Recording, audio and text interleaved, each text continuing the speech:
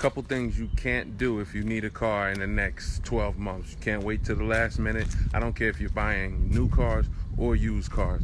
Used cars, you need at least three months to shop the market because you got to be able to say no. Person who can't say no in the negotiations is going to lose. New cars, I'm going to give y'all a tip too. Um, it, you need at least six months, really nine, because you might want to order a car if you can't order a car, you you might walk in needing a car this week, this month. They don't have anything. That's going to put your back against the wall.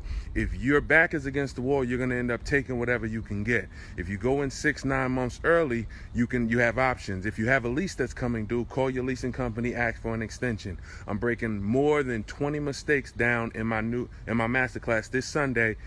Get your seat in my bio, type locked in if you're coming if you register, you get a replay. Like, I can't make it more simpler. Free class, we going over free game.